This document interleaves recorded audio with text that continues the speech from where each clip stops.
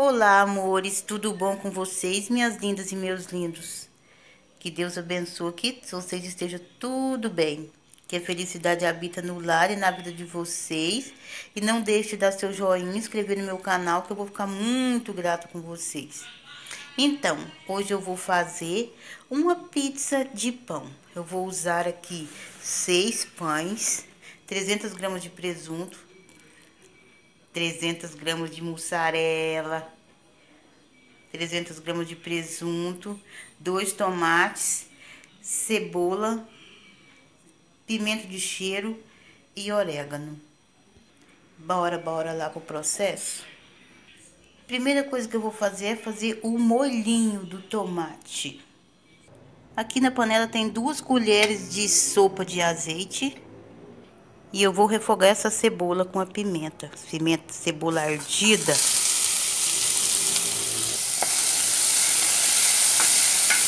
Hum, que cheiro gostoso, meu Deus. vou pôr também uma colher de sopa de coloral.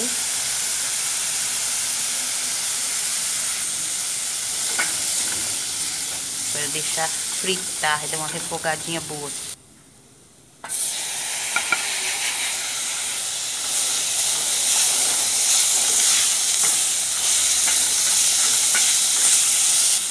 Abaixar o fogo. Só um punhadinho de sal temperado. Porque tudo tem sal. Coloquei meio copo americano de água aqui, amores, porque o tomate não queria soltar água. Amores, já piquei o pão. Agora vou rechear dois para vocês verem.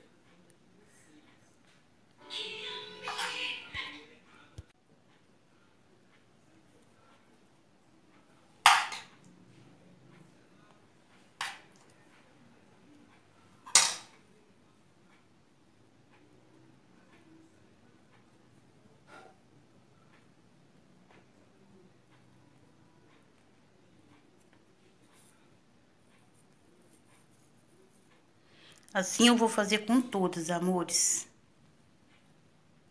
Deixa eu fazer, montar mais uma aqui.